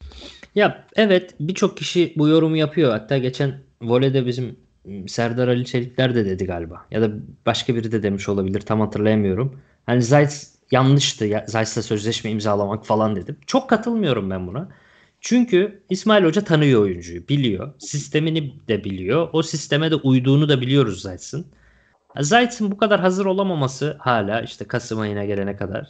O biraz Zayt'sın profesyonelliğiyle ilgili yapacağımız bir eleştiri. Yani yaz döneminde falan hiç mi çalışmadın falan denebilir ama ben de İsmail Hoca yerinde olsaydım tutardım ya. Çünkü al, yeni alacağın oyuncu bilmiyorsun ki yani e, o senin sistemine uyacak mı? Uymayacak mı? Şimdi mesela Şimanski sakatlansa Onur Kaya da sormuş. Bence Hı-hı. birinci alternatifi Zayt. Yani hazır da olabilir yani. Bir iki maç daha şimdi Kupa ile birlikte Avrupa ile birlikte Türkiye Kupası da geliyor falan. Biraz daha oynasın. Bence ritim tutar yani. Ee, tuttuktan sonra şey da var. direkt uyuyor. diyorsan en başında tut. Zaten ona ki ben doğru. onu söyledim yani. Hani Zayt, Crespo geçen sene kalsaydı ve üzerine Fred çekseydin zaten herkes memnun olacaktı ama bu süreç yönetimi. Yani evet. Zayt başladı ilk 11 istiyor denildi. Muhtemelen doğruydu herhalde bu kadar uzadığına göre. Sonra işte neredeyse kopma noktasına gelindi. Başka orta sahalarla ismi çıktı Fenerbahçe'nin. Ama Zayt kaldı. Bir de Zayt hazır değilmiş. Yani evet. muhtemelen yaz boyu iyi çalışmadı. Geç transferleri geç yaptığı zaman e, zaten Kasım'dan sonrasını transfer edebiliyorsun anca. Beşiktaş'ın bu sene patlamasının bir numaralı nedeni. Transferleri geç yapıyorsun aynı ilk 11 bütün o Avrupa ön elemelerinde oynayıp Ağustos sıcağında e, pilini bitiriyor. E, evet. Yeni, gelen e, Rebic'ler, Oxlade Chamberlain'ler e, sağlam gelemediği için, Gezal ve Cenk de sakat olup kamp yapıp e, sağlam gelemediği için alternatifler tamamlayamıyor yorgun oyuncuların yerini. Patlıyorsun bir yerden. Yoksa Beşiktaş da 5'te 5'te başlamıştı hatırla. Yani doğru, doğru. E, ama sonra alternatifler gelmeyince patlıyorsun. Ee, orada evet yani Zeiss'la Ağustos'a kadar bir türlü onun kafayı sahaya ona da yani İsmail Hoca'nın yapabilecek bir şey yok. Ee, o yönet Galatasaray da yaptı bu arada bu hatadan bol bol bu sene. Ee, yani gelen çoğu transferde hala işte endombelelerin falan oturmaması. Yani bizim takımların sık yaptığı bir şey bu. Yani bu transferleri neden Haziran'da Temmuz'da e, yapamıyoruz? Hep daha kalitelisini alalım diye e, hazır olmayan oyuncuların Ağustos'a kadar Eylül'e kadar transferini bekliyoruz yani. Biraz Ya öyle. çok, çok e, haklı bir eleştiri ve Türkiye Ligi'nin de aslında böyle genine işlemiş bir şey ama Fenerbahçe bu sene bence bunu biraz kırdı. Birkaç Evet, isim hariç doğru. çok erken bitirdi. Ha- Hatta Ceko ve Tadic'in erken gelmesi bu 19'da 19'un bir numaralı sebebi. Adamlar %100 aynı formda geldi, erken geldi. Bir de çok profesyonel adamlar, lider karakterli adamlar. Direkt hücumu oturttum bir kere onunla. Şimanski de erken geldi sayılır. Fred Evet. de geç geldi denemez bence. Hani bu e, oyuncular. Bekao da, Ciku da olabildiğince erken geldi ve e, dediğin gibi yani takımın erken kurulması bir tek Livakovic biraz geç geldi. O da zaten devamlı oynayan oyuncuydu. Ve takım o kadar iyi oldu ki yani Livakovic'e şu ana kadar herhangi bir iş düşmedi yani. Şu ana kadar Livakovic performansı falan şey yapmadık. İkinci yarıya geçelim bu arada Hasan. Livakovic'in mesela bu maçta bir tane pozisyonu var. İkinci yarının hemen başına 47-48. dakikada. İşte sol half space'e kaçtılar orada. İçeriye çevirdi. Livakovic çelmese Erencan boş kaleye atıyordu ikinci yarının başında. İlk yarının başında olduğu gibi ikinci yarının başında da Fenerbahçe durgun girdi ilk 15 dakikaya. Ee, belki biraz rehavet, maç koptu vesaire diye. Orada bir de Diaby'nin kaçırdığı pozisyon var çok netken. Chat'te birisi offside'da o pozisyon demiş. Onu kaçırdım ben devam. Offside Öyle gözüküyordu evet. Offside muhtemelen. Doğrudur. Ee, o pozisyon var. Yani 60'a kadar orada bir 2-0 iken maç. iki tane pozisyonumsu bir şey var. Ee, Fenerbahçe biraz bence durgun başladı. Ve yine benim adam Ceko 60'tan sonra 62. dakikada bir tane tek başına bir pozisyon yarattı. Karşı karşıya kaldı Erdem'le. Ee, Sekeira ve Berkay'dan iki adamdan birden kurtuldu. Yoktan pozisyonu yarattı. Net pozisyon kurtardı. 63'te bir tane böyle zayıf bir şut attı solla kaleci de. Yani onları falan yakalayınca zaten psikolojik olarak şey hissediyor adamlar. Aa, yani Ceko geliyor. Bir gerilim, bir tedirginlik. Hadi hemen çekiliyorsun. Yani o şeyi psikolojik üstünlüğü yaratıyor. Sonra 66'da da zaten e, 65 miydi 66 mıydı? Üçüncü golü atıp e, fişi çekti. Yani bozuk yapıyı hemen düzeltiyor. Bazen böyle bireysel işte kendi başına bir şeyler yapıp e, çözüyor. E, onun dışında da böyle ikinci yarı ile ilgili başka da benim çok bir şeyim yok. Sonra zaten şeye gitti. Gol krallığına oynamaya gitti. O da hoşuma gitti benim. Yani o Icardi'yi de kamçılayacak bir şey çünkü. İkisi bir gol krallığı yarışı verirse Muhakkak. ikisini de yükseltir. Ee, o da iyi olur. Ben mesela bu Ceko ve Icardi'nin yanına Abu Bakar'ı da yazıyorlar. Ee, oyuncu kalitesi tarafından. Ben hiç yazamıyorum. Yani ben Ceko ve Icardi'yi bambaşka bir yere koyuyorum. Sonra diğerleri geliyor benim için. Ee, Abu Bakar'ı hiç böyle onlar şeyinde yazmıyorum. Abu Bakar onlardan daha estetik goller atar bu arada. İkisinden de daha şık goller atabilir. Ronaldo golleri falan atabilir.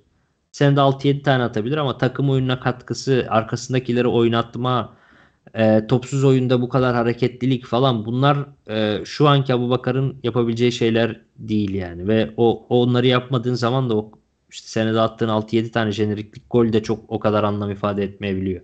Yani bugün mesela Beşiktaş'ın kalabalık hücum edememesinde Santrfor'un e, ağır olması ve hareketsiz olması da etkili. Yani bunu yap- yap- neden yapamıyor demiyorum. Adamın iki tane diz gitmiş yani. Abu Bakar'ı suçlamak için söylemiyorum ama hani Ceko ve Icardi seviyesinde olmadığını söylemek istiyorum. Çok spektaküler goller attığı için Abu Bakar çok övülecek ve işte çok fazla övgüye e, tabi olacak ama bence e, 37 yaşındaki Ceko'nun e, kendisine 6-7 yaş daha küçük olan Abu Bakar'dan 3 kat daha fazla hareket ediyor olması, top 3 kat fazla, 2 kat fazla topla buluşuyor olması da e, Abu Bakar'ın attığı klas goller kadar övgüye e, sahip olmalı. Hak ediyor. Yani profesyonellik de övgü almalı. Çünkü bu ligde 6-7 maç oynamıyorsun. Şık gol atacağın 6-7 maç oynamıyorsun. 38 maç oynuyorsun. Bu adam 38 maçın 38'ine de son derece hazır çıkıyor. Yani bu adanmışlık ve profesyonellik de aynı şekilde şey yapılmalı, övülmeli. Ve bak geçen sene senin böyle bir santrforun olduğu zaman arkasındaki oyuncuları geliştirme hızın da inanılmaz oluyor. Geçen sene Kerem Aktürkoğlu'nun gelişimini ben her maç statta gördüm. Adamın Şubat'a kadar asisti yoktu. Sıfır asistle oynuyordu Şubat ayına kadar. Asist kralı bitirdi ligi.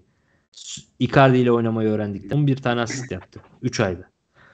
Ee, et, arkasındakileri çok geliştiriyordu. Raşitsa yine geçen sene çok etkili oldu e, Icardi ile. Bu sene mesela aynı etkinin yanından geçemiyor. Aynı Raşitsa, aynı oyuncu. 5 ay geçti aradan sadece.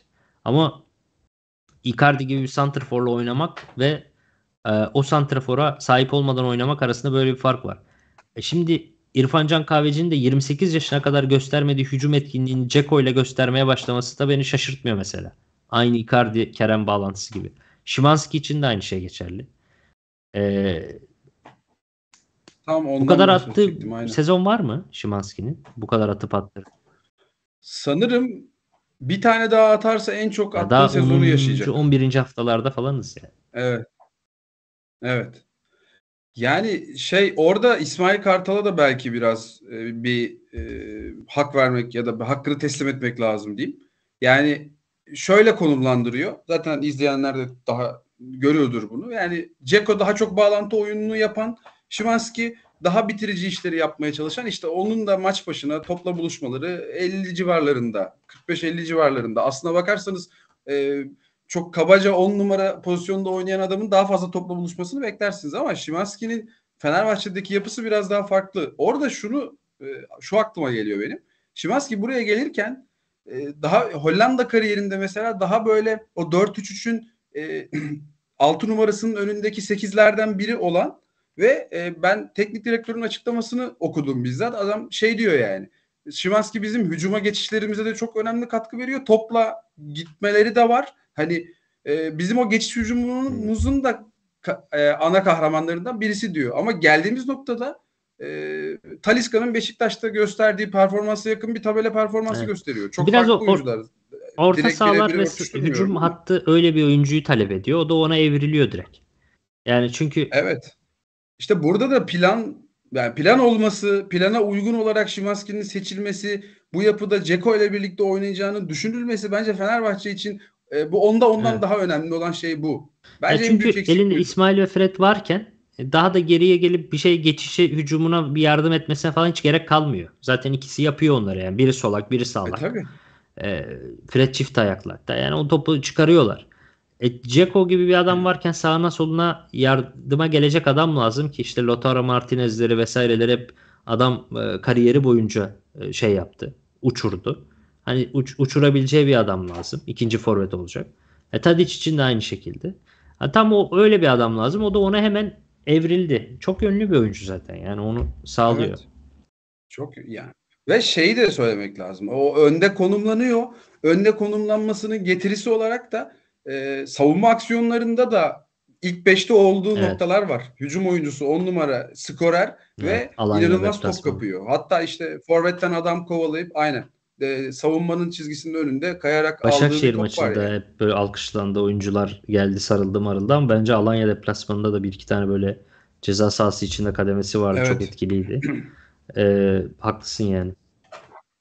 Bu arada Şimanski'nin belki alternatifi e, Batshuayi de olabilir. Yani çok düşünülmüyor e, ama o Latu, e, Martinez ve Ceko ikilisi gibi bir ikili oluşturulabilir. Tabii ki bu yapıyı dönüştürmek çok kolay değil farkındayım. Ama e, ben Batshuayi'nin de çok fazla göz ardı edildiğini düşünüyorum. Evet çok farklı bir profil ama eğer elinde İsmail Fred gibi bir oyuncu varsa Ceko'nun yanına, arkasına, etrafına ikinci bir forvet eklemek o kadar zor değil bence. Yapılabilir pekala. Yani, yani e, başka alternatif var mı diye bakıyorum Batshuayi dışında. Hani böyle mesela Dybala tarzı oyuncular falan da çok iyi gider yani. Fred, İsmail'in önüne, Ceko'nun sağına soluna arkasına Alexis Sanchez modeli işte Dybala vesaire. O tip e, ikinci forvet oyuncuları da coşabilir yani bu şeyde takımda. Yani tam coşması için her şey mevcut. Arkada Fred, İsmail, önde Ceko. E, belki devre arasında öyle bir hamle de düşünülebilir. Batshuayi ayrılacaksa takımda. Çünkü Umut gibi ayrı bir pivot var. Yani üçüncünün de böyle uzun evet. fizikli e, 9 numara klasik 9 numara olması gerekmiyor bence. E, biraz daha çift forveti, ikinci forveti de oynayabilen, forvet arkasında oynayabilen bir hamle belki devre arasında Batshuayi ayrılırsa. Öyle bir hamle belki daha doğru olur. Bilmiyorum. Forvet arkası tanımına uymuyor ama Ekambi'yi hmm. düşünmüştü Fenerbahçe sol. mesela. Ee, o hani so- sol forvet ama e, kariyerinin bir dönemi forvetlikte yapmış. Yani işte mesela Batshuayi'dense o tarz bir adam alıp hem o hocanın King profilini aradığı profili karşılamak hem de bir alternatif yaratmak da düşünülebilir. Yabancı sınırından ötürü söylüyorum. Yoksa tabii ki ayrı ayrı almak Olabilir. gerekir ama. Belki Rossi bile iş yapardı diyorum ben. Bu bu şey. o konuyu açmayalım. Linç yeriz. Ben de aynı düşünüyorum. dur, dur. Ee, ağzına sağlık. Var mı maçla ilgili başka ekleyeceğin? Benim yok herhalde. Benim de yok. Bütün e, aldığımız notları Aynen. da konuştuk. Teşekkürler. Eyvallah, Senin ben de teşekkür sağ. ederim. Baktım chatte soru var mı cevap verebileceğimiz bitirmeden yayını bakıyorum. Ee, Kiss en e, şöyle bir şey sormuş. Beka Jaden stoper ikilisi daha faydalı olmaz mıydı? Beka sol tarafta sağ ayağıyla zorlanıyor demiş. Katılıyorum. Ama Samet'i de bence kazanmak için Ama... doğru maçtı. Çünkü Samet o Hırvatistan ve Letonya maçlarındaki performansından sonra bu maçta da 11 başlayamasa Serdar'ın ve Ciku'nun ikisinin birden sakat olduğu bir maçta evet. onu oynatmayıp e, stoper olmayan bir bek oyuncusunu oynatırsan da takım içi dengeler için zor, yıpratıcı bir şey olabilirdi yani. Oyuncuyu kaybetmeye giderdik. Gerek yok bence kaybetmeye. Ben yaz transfer döneminde de diyordum herkes Samet ayrılacak falan. Ya diyordum Samet'i niye ayrı, ayrılmasını düşünüyorsunuz? Fazla stoper yok ki elinizde. Hem yerli hem dördüncü stoper. Genç işte Emir Ortakaya falan var. Ver o çocuğu oynamaya devam etsin. Kendini geliştirmeye devam etsin. Sen bu adamı almışsın. Yapmışsın yüksek maliyetli yatırımını. Bir kere zarar etmişsin. iki kere zarar etmeye ne gerek var bedavaya gönderip? İyi bir yedek olarak tut işte yani. Üçüncü, Aynen. dördüncü yedek olarak. Bir de Serdar Tabii sürekli Serdar sakatlanıyor zaten. bir adam değil. Sürekli sakatlanıyor. Yedekte tut. Ha şimdi mesela lig kalitesi hakikaten o kadar fark var ki şimdi mesela Adana Demirspor'la oynayacaksın ya iki hafta sonra hani puan kaybı ihtimali olan zorlu maçlardan bir tanesi. Abi senin dördüncü stoper dediğin evet. yetersiz vesaire bulduğun Samet Adana Demirspor'un bank 11'iydi. Bugün oynayan Semih onun yedeğiydi mesela iki sene önce. E şimdi e, senin dördüncü stoper olarak beğenmediğin oyuncu işte Adana Demir'in birinci stoperinden öndeydi. Yedek kalıyordu adam. Ya o yüzden o kadar da e, şeye gerek yok. Yani e, bence evet belki daha iyi olurdu Osterwold'de falan ama e, biraz da bu dengeler ama, için bunu yapmak lazımdı bence. Ya hem o kısmı var hem de işte Jaden'ın o savrukluğu biraz e, mesela o Diaby'nin pozisyonunda orada Doğru. Jaden oynuyordu. E, yani bunları getirebiliyor Tabii. sana. Çünkü sto, stoper bölgesi hep söylüyorum ya evet ayak ayağı iyi olan oyuncu çok özel ya da işte farklı meziyetleri olabilir ama bence önceliği yani iyi savunabilmeli. E, ikincisi o savunma çizgisini iyi kontrol edip ayarlayabilmeli ki Ciku'nun bence en büyük özelliği bu. Çok iyi öne çıkarıyor takımı ve e, hücumcusuna da çok iyi yapışıyor. Çok çok sert beka tipi bir adam değil ama e, müdahaleleri gerektiği zaman yapabiliyor. Ve üçüncüsü Ciku kolay e, hata yapmıyor en önemlisi. Yani e, stoper böyleyken oradan Jaden'a geçmek biraz Bu arada denge Twente bozuyor. maçında yani da sol şey stoper oynamak zorunda kaldığı Twente maçında da benzer bir pozisyon hatası yapmıştı. Yapması da çok doğal. Yaptı. Normal. Çok normal. Tabii. KML o Barça Real Madrid maçını izlediniz mi demiş. İkinci yarısını izledim. Ee, Bellingham için söylenecek bir şey yok. Yılın en iyi transferi tartışmasız. Muhtemelen Real Madrid'in evet. Cristiano Ronaldo'dan beri yaptığı en iyi transfer son 15 yılın Real Madrid için yaptığı en iyi transfer. Herkes e, hakikaten şeyi söylüyordu yani Mbappe mi Haaland mı bundan sonra bunların yarışı olacak gibi. Bu şekilde giderse e, şeyi Balon doğru da sene sonunda Jude Bellingham alır. Yani Messi'ler Ronaldo'lar çekildi hakikaten sahnede ve tam bu sene artık Messi'nin Dünya Kupası almadığı veya işte damga vurmadığı bir senede ya Mbappe Haaland beklenirken adamın böyle bir e, ben geldim Çocuk beyler kapısı. mesajı ikisinin önüne geçip çok eks, şey oldu ekstra oldu güzel oldu. Ya belki gelecek için de şeyi de söylemek lazım yani. Vinicius da çok ayrı bir seviyeye çıkabilir. Ben çok beğeniyorum. Evet, ben de çok beğeniyorum. Ben de benim de hayran olduğum bir oyuncu Vinicius. Ee, hatta ben Neymar varken de dünyanın en iyi sol, sol kenar oyuncusu diyordum. Ee, ama şey yaptı. Ee, Car- Carlo Karar mekanizması Carlo. Ancelotti e, Milan dönemindeki dizilişine benzer bir dizilişe dönüyor.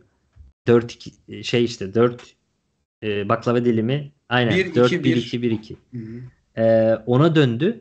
Öyle hani Vinicius sol forvet gibi oldu e, şeyde. Ee, Bellingham'da işte o şeye dönüştü. Ee, Kaka'ya dönüştü yani. O dönemki Kaka gibi oynatıyor. Ee, Rui Costa'lı Kaka'lı işte o on numarayı oynatıyor. Çok da etkili oldu yani çift forvet yap. Ama Rodrigo, Vinicius ikisi birden Rodrigo, forvet Vinicius. olunca biraz şey oluyor. Etkili e, biraz etkisiz oluyorlar. Yani biraz oraya hani Şevçenko modeli net bir santrfor gerekiyor bence.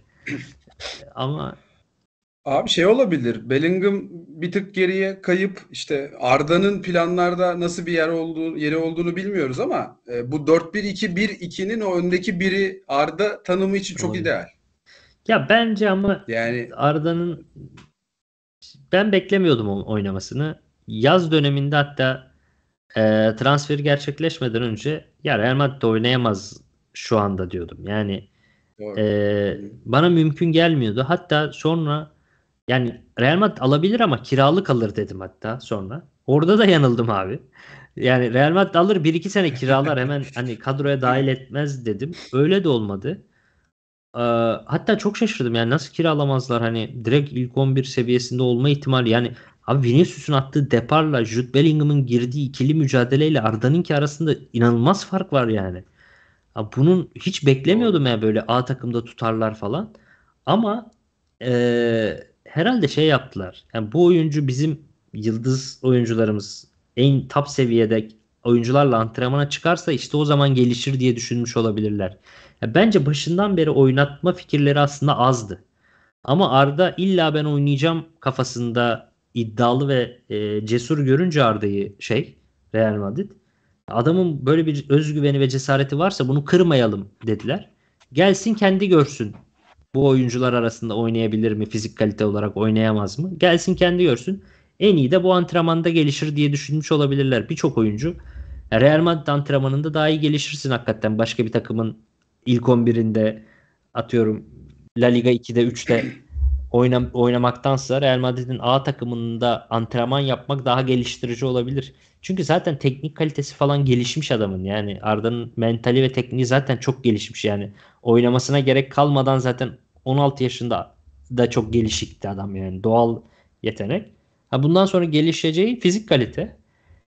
Fizik kalite de o, antrenmanlarda ezile ezile gelişme ihtimali daha yüksek. Yani Chouameni ile Rudiger'le falan ikili mücadeleye girdikçe gelişme ihtimali daha yüksek yani.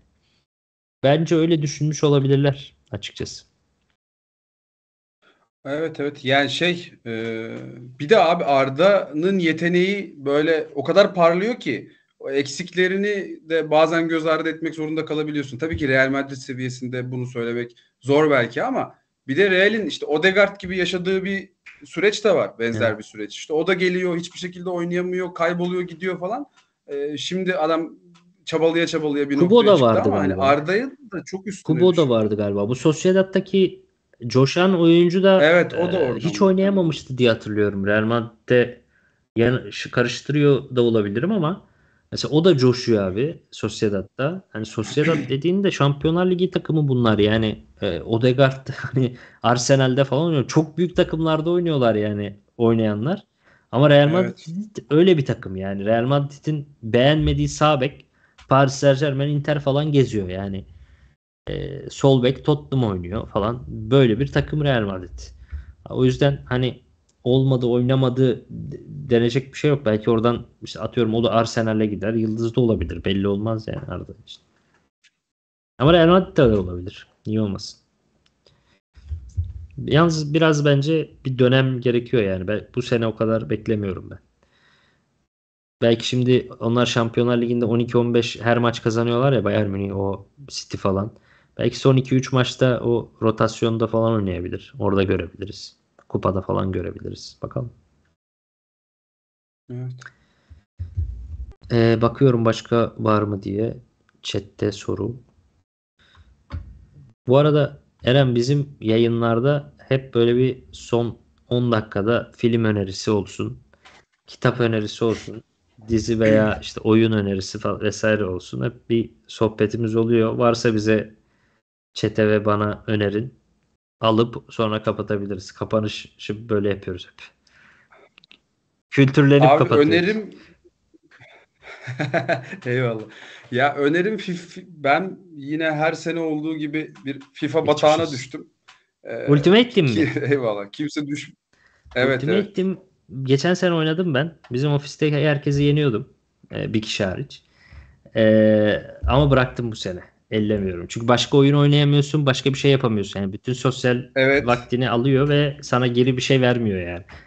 Şeydeki ofistekileri yenip hava atmak dışında hiçbir şey geri dönmüyor yani.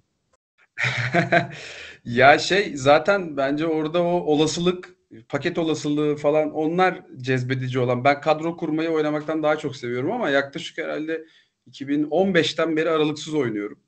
Böyle bir hastalığa dönüştü. Hani insanlara ona başlamamasını önerebilirim. Bir. Kültür sanat noktasında da şey işte en son e, Nuri Bilge Ceylan'ın Kuru Otlar Üstünesini izledik. Onu önerebilirim. O tarz e, filmleri seven varsa. E, yani ben e, bir işte lise başlarında Nuri Bilge ile dalga geçme noktasından üniversitenin sonuna doğru büyük hayranlı e, noktasına evrildim. Hani öyle bir kariyer ya da öyle bir şey hedef olanlar varsa öneririm.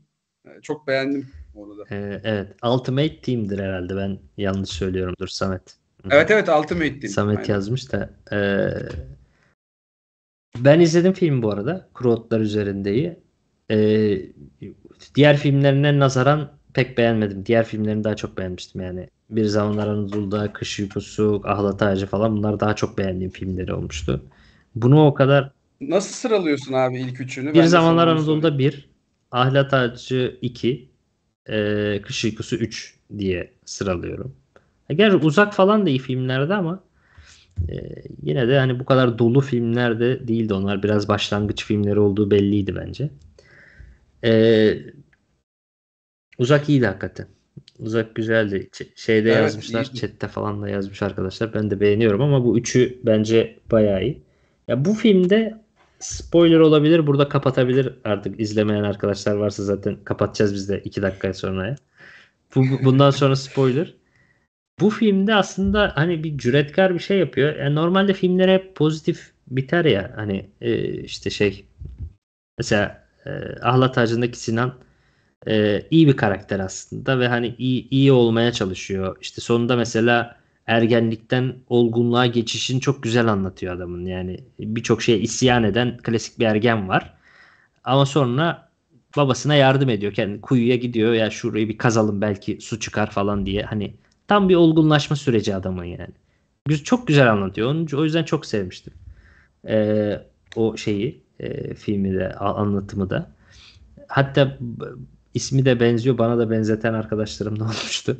Oradaki Sinan'la. Ee, şeyde e, bu filmde ise Kuru Otlar üstünde ise sevebileceğiniz karakter bence yok. Uyuz oldum hepsini izlerken. Sinir bozucu tipler. Ki kendini çok önemli zanneden. Ama neden önemli zannettiğini de anlıyorsun. Çünkü hani bulunduğu yer kır, çok kırsal çok az insan var. Hani biz oraya medeniyet getiriyoruz gibi öğretmen olmuş kişiler. Ha, orada kendini doğal olarak çok önemli hissediyor. Çok önemli hissettiği için böyle bir adamın egosunu izliyorsun. Bir de benim kızım olduğu için ekstra gerildim falan. Yani normalde kendini Hmm. şeyin yerine koyarsın ya başrolün yerine koyarsın kendini. Ben kızın yerine kendimi koyuyorum falan ekstra böyle gerile canım sıkılarak yani canım sıkılarak sana. izlerim 3 saat. Eee, ama şey açısından Evet. cesaret yani negatif bir karakteri başrol yapmak büyük bir cesaret yani Türk sineması için hiç hazır olunan şeyler değil. Yani Sinan'ı başrol yapmak Ahlat Ağacı'nda o karakteri başrol yapmak güzel. Oyuncu gelişiyor. iyi niyetli bir çocuğu izliyorsun falan. Hani iyi yani ama burada negatif bir karakter var. Kötü insanlar var yani bence. Ee, oradan film çıkarmak iyi yani. Ve ve en sonunda da e, o kötü niyeti aslında bariz bir şekilde de aktarıyor kendisi. Yani bence o da çok garipti. Ya hep şey yapar ya böyle biraz daha kapalı tutar. Sen kendince yorumlarsın. Oradaki o bahsenin de seni geren olay aslında oldu mu olmadı mı kendin karar verirsin. Yine o noktaya getiriyor biraz ama e, en nihayetinde de adamın kafa yapısında ne olduğunu bariz bir şekilde görüyorsun yani. O en sondaki sahnede. Bence o, o da çok şaşırtmıştı beni. Ben bir de filmde şeyi beğenmedim. Kızla şarap içtikleri akşam yemeği sahnesi var ya. Normalde hani Nuri Bilge'nin e, bütün filmlerinde uzun diyaloglar var abi. Şeyde de var mesela Kış Uykusu'nda işte masa başında çalışırken arkasında şeyle konuştu. Ablasıyla konuştuğu sahne yarım saat falan sürüyor falan. Ama hiç orada mesela eğreti duran bir şey yok. Oyunculuklar da zaten çok kaliteli. E, bence diyaloglar da iyi. Yani birbirlerine laf sokmalar falan çok doğal akıyor yani hissediyorsun. Evet. Fakat belki Nuri Bilge baba belki çok fazla kadın erkek ilişkisine maruz kalmadığı için falan da olabilir. Çok yavan yani çok yabancı geliyor bana. Yani hiç böyle yeni tanışan birbirine aşık olma veya işte cinsel bir şey duyacak e, arzulama duyacak falan bir e, iki kişinin konuşması gibi değil yani hiç oturmuyor birbirine e, cümleler evet. falan. Mesela onu şeyde hissetmiştim ben. E, Dostoyevski'nin kitaplarındaki kadın anlatısı çok daha böyle yumuşaktır abi. Çünkü Dostoyevski'nin hayatında yani fakir bir hayatı yaşamış. Öyle çok fazla e, kadınlarla ilişkisi çok olamamış işte e, şeye düşmüş. E, e, ne diyorlar onların bileklerine şey vuruldu pranga vurulmuş işte e, adet az daha idam edilecek falan böyle hayatı olmuş fakirlik dönemleri yaşamış falan evlenmiş sonra boşanmış gitmiş o kadar bilmiyor işte e, yazıcısını sekter, sekreterine aşık olmuş onunla e, e, ikinci eşi o olmuş falan yani. Adamın hayatındaki kadın sayısı çok az yani. Çok az olduğunu bence kitaplarda hissediyorsun. Kadınlar böyle şey e, yine çok güçlü kadın karakterler var ama böyle ya siyah veya ya da böyle beyaz e, böyle şey, mesela şeydeki e, Budaladaki kadın falan böyle hani böyle biraz e, prenses erişilmesi zor karakterler falan yaratıyor. E, Birçok açıdan bence Dostoyevski bir numara. Tolstoy'un da çok önünde. Fakat Tolstoy'un Tolstoy'un kadın karakterlerini şey yaptıktan sonra okuduktan sonra Tolstoy tabii çok daha zengin bir adam ve etrafında çok daha fazla kadın var. Tolstoy'un kadınları çok çok daha iyi tanıdı yüzde yüz yani. Onun kitaplarında e, kadınlar inanılmaz çetrefilli işte o kıskançlık krizleri olsun işte şeyleri olsun kararları farklı falan. O aradaki farkı çok net anlıyorsun. Bence e, Nuri Bilge Ceylan'da da benzer bir şey olabilir. Yani o aşk olabilir. ve şey işleri kadınına dair yazılı şeyleri e, sahneleri o kadar e, ilginç gelmiyor bana. Ama şey de olabilir abi. Ben şöyle hissettim. O yemek sahnesinde bir noktadan sonra sanki Nuri Bilge Ceylan kendiyle konuşuyor gibi geldi. Evet, yani o, o çünkü o kadar çok ona yöneltilen eleştirilere cevap verecek diyaloglar yazmış ki. Bence bir noktadan sonra olay oraya bağlandı ve oradan da kopartamadı yani. Çünkü dediğin gibi hani o, o sahnenin sonunda cinsel bir şey oluşacağını falan ben ihtimal dahi vermiyordum yani. Hani kavga etseler çok daha benim için mantıklı olurdu. Ben dediğim gibi sanki biraz böyle kendiyle konuşmuş, kendini akla, aklamaya demeyeyim de kendi kafasındaki şeyleri yansıtmaya çalışmış gibi hissettim. O yüzden bana da şey geldi. Biraz doğal dışı geldi. Ama senin kadar rahatsız etmedim. Nastasya Filipovna'yı yazanlar var bu arada. O da Budala'daydı e, yanlış hatırlamıyorsam. E, bence Budala'da esas çok iyi karakterler, çok iyi kadın karakterler. E, o, o şeyin annesi, e, genç kızların annesi ve kızların karakterleriydi. Onları mesela çok iyi yansıtmış. Muhtemelen çünkü hayatındaki kadınlar böyle anne, teyze, e, komşuda komşunun annesi falan. O, o kadınları iyi biliyor. O kadınların tavırlarını çok iyi biliyor. O anneyi mesela dominant anne karakterini mükemmel anlatmış. Dostoyevski'nin en iyi kadın karakteri o. Adını unuttum şimdi de. Ee, albay albayın karısı gibi bir şeydi yani bir e, al albayın karısıydı herhalde. Öyle öyle bir kar- karakter. Unuttum ama müthiş anlatıydı. Ama aşk meşk kişileri bence orada Tolstoy çok öne çıkıyor yani. Ee, Anna Karenina mesela o o kitapta e, bambaşkaydı. Teşekkür ettim. Ağzına sağlık. Ben de teşekkür ederim. Ee, Eyvallah. Çok güzel oldu. Güzel e, bitirdik. Hem e, şeyi de bizim kitleyi de doyurmuş olmuşuzdur son 15 dakikanın sohbetiyle. Bir daha olursa da kitap Olur. öneririz abi. Olur olur da yaparız. Öyle konuşuruz. Utku izledim filmi. Beğendim de. Ama e, yani çok da böyle damga vurmadı benim şeye fikirlere.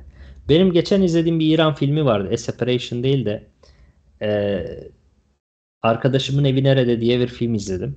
Onu çok beğendim. Böyle çok da kısa bir film. Galiba Mu- Mubi'deydi izlediğim. Geçen dediğim geçen sene. Bir sene oldu ya. Ha, Abbas Kiarostami değil evet. mi? Galiba yönetmeni o. Evet evet çok iyi film. Çok, film. keyifliydi izlemesi. Onu da öneririm. İran sineması izlemek isteyenler için. Ağzına sağlık Eren. Ee, Eyvallah. tekrar görüşmek üzere diyelim o zaman. Çok keyifliydi. Teşekkür ediyorum. Hoşçakalın.